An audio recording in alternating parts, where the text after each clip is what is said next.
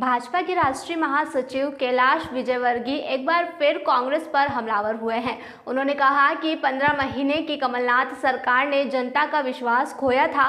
कांग्रेस मध्य प्रदेश में ही नहीं, बल्कि पूरे देश भर में अपना अस्तित्व खो चुकी है। बता दें कि कैलाश विजयवर्गीय इन दिनों प्रदेश भर के दौरे पर हैं। वे ग्वालियर पहुँचे थे। उन्होंने कहा कि सिंधिया जी के भाजपा में आने के बाद हमारी ताकत और भी बढ़ गई है। हम अच्छी तरीके से आगामी विधानसभा में सीट जीतने वाले हैं। केंद्रीय मंत्री ज्योतिरादित्य सिंधिया के भाजपा में आने के बाद बीजेपी के कई बड़े नेता नाराज़ चल रहे हैं। इसको लेकर उन्होंने कहा, कोई भी नेता हाशिए पर नहीं है। जयभान सिंह पवैया को महाराष्ट्र जैसे बड़े राज्य से सहप्रभारी है तो वही प्रभात जा अभी प्रदेश के दौरे पर है।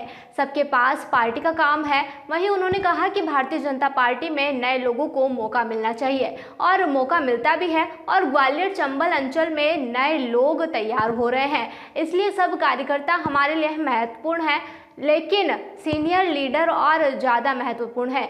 ट्रांसजेंडर आरक्षण के विरोध में आए ओबीसी समाज पर कैलाश विजयवर्गीय ने कहा कि हम ओबीसी समाज के साथ बैठेंगे, उन्हें समझा देंगे। इससे बहुत ज़्यादा फ़र्क नहीं पड़ता है। गौरतलब है कि भाजपा के राष्ट्रीय महासचिव कैलाश विजयवर्गीय आज ग्वालियर आए थे और थोड़ी देर रुकने के बाद वह भिंड ज़िले के लिए रवाना हो गए हैं।